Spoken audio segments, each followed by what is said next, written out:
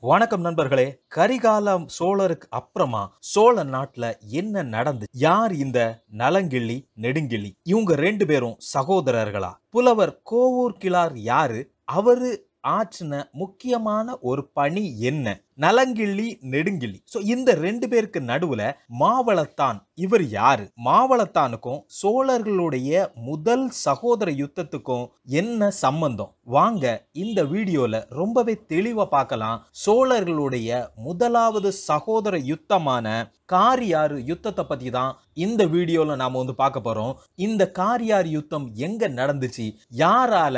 இது எல்லாத்தையுமே ரொம்ப டீட்டெயில்டா நாம வந்து பார்க்கலாம். கரிகால மன்னர் உறையூர் காவிரி பூம்பட்டினம் அப்படின்னு ரெண்டு நகர தலைநகராக்கி ஆட்சி செஞ்சுட்டு வந்தாங்க. கரிகாலருடைய வாரிசான நலங்கிள்ளி அடுத்ததா பட்டத்துக்கு வர்றாரு. சோ கரிகாலருடைய முறைப்படி முதலாவது முறையான வாரிசு வந்து நலங்கிள்ளி சோ இது வந்து நிறைய இலக்கியங்கள்ல தெளிவா வெளியிட்டு ஸோ இந்த மாதிரி முறைப்படி அறிவிப்பு வந்ததும் சோழ தேசத்துல ஒரு பிரச்சனை ஆரம்பிக்குது. பிரச்சனை யாரால அப்படின்னு பாத்தீங்கன்னா நெடுங்கிள்ளி. சிலர் நெடுங்கிள்ளிய நலங்கிள்ளியுடைய ஒன்றுவிட்ட சகோதரன் அப்படின்னும் சிலர் இவர் சகோதரன் எல்லாம் இல்ல வேற ஒரு சோழ தே சோழ வம்சத்து ஒரு சிற்றரசன் அப்படின்னு சொல்றாங்க.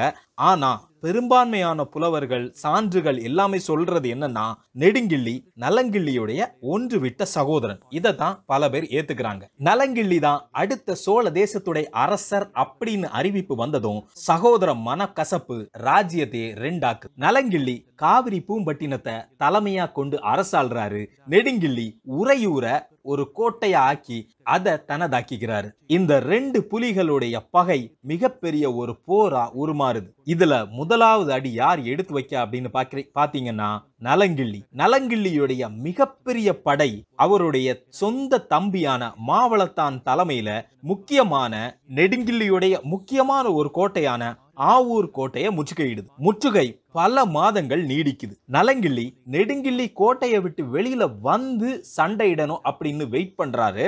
ஆனா நெடுங்கிள்ளி வெளியில வர்ற மாதிரி தெரியவே இல்லை. கோட்டைக்குள்ளால மக்கள் வந்து கடுமையா அவதியுறாங்க சாப்பிடுறதுக்கு கூட உணவு இல்ல குழந்தைகளுக்கு பால் இல்ல நிறைய மக்கள் இறக்குறாங்க. அப்போ கோவூர் கிளார் அப்படிங்கிற புலவர் நெடுங்கிள்ளிய சந்திச்சு ரொம்பவே தைரியமா நெடுங்கிள்ளி இது ஒரு அரசனுக்கு அழகு இல்ல. கோட்டைக்குள்ள மக்கள் மகளிர் குழந்தைகள் உணவில்லாம கஷ்டப்படுறாங்க. நீ ஒரு வீரனா இருந்தா நலங்கிள்ளியோட சண்டையிடு. இல்லனா சரணடைஞ்சி கோட்டை கதவை திறந்து விடு அப்படின்னு உரிமையா சொல்றாரு. இத கேட்ட நெடுங்கிள்ளி ஆவேசம் அடைஞ்சு நலங்கிள்ளியோடைய படையை எதிர்த்து சண்டையிட போறாரு. ஆனா யுத்தம் நலங்கிள்ளிக்கு சாதகமா முடியுது. அப்படியே நெடுங்கிள்ளி தோற்று உறையூருக்கு போயிடுறாரு. உறையூர்ல ஒரு மிகப்பெரிய கோட்டையில அவர் ஒளிஞ்சுக்கிறாரு. நலங்கிள்ளி இப்பவும் விடுற மாதிரி இல்ல. நலங்கிள்ளியும் மாவளத்தானும் உறையூரை நோக்கி போறாங்க. இவங்க உறையூரை நோக்கி போறத தெரிஞ்சதும் அங்கேயும் வர்றாரு கோவூர் கிளார் இப்போ அவர் யார்கிட்ட பேசுறாருன்னா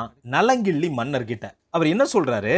நலங்கிள்ளி நீ எதிர்க்கிறது பனம்பூ மாலை அணிஞ்ச சேர மன்னனையோ வேப்பம்பூ மாலை அணிஞ்ச பாண்டிய மன்னனையோ கிடையாது. ஒரே சோழர் குடிகள் தான்.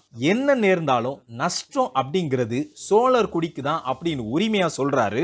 அதுக்கு பின்னாடி என்ன நடந்துச்சு அப்படின்னு தெளிவா இல்ல. சிலர் என்ன சொல்றாங்க? நலங்கிள்ளி கோவூர் கிளார் சொன்னதை கேட்காம உறையூர் கோட்டையை தாக்குனாரு அப்படின்னும் சிலர் இல்ல. அவ் நலங்கிள்ளி புலவருக்கு முக்கியத்துவம் கொடுத்து நெடுங்கிள்ளிய மன்னிச்சு காவிரி பூம்பட்டினம் திரும்பினாரு. ஆனாலும் நெடுங்கிள்ளி மறுபடியும் படை திரட்டி வந்தாரு அப்படின்னு சொல்றாங்க. சோ இப்படி பலவிதமான கருத்துக்கள் இருந்து எது நடந்தாலும் மறுபடியும் இந்த சோழ சகோதரர்களுடைய படைகள் காரியாறு அப்படிங்கிற இடத்துல மோதுறாங்க. மாவளத்தான் ரொம்பவே திறமையா படை நடத்த நலங்கிள்ளி வந்து திட்டம் தீட்டி கொடுக்கிறாரு.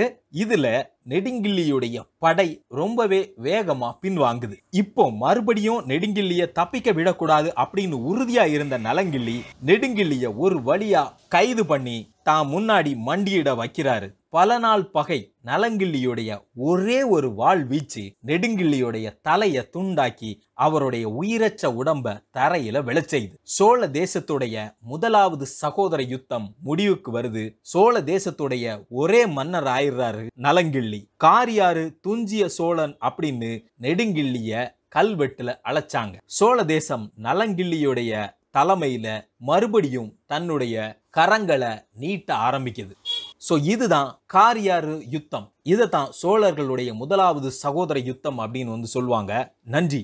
அடுத்த வீடியோவில் வேற ஒரு சுவாரஸ்யமான தகவலோட நான் வந்து உங்களை சந்திக்கிறேன். நாவல் ரிவ்யூ சேனலுக்கு சப்ஸ்கிரைப் பண்ணாதவங்க சப்ஸ்கிரைப் பண்ணிக்கோங்க.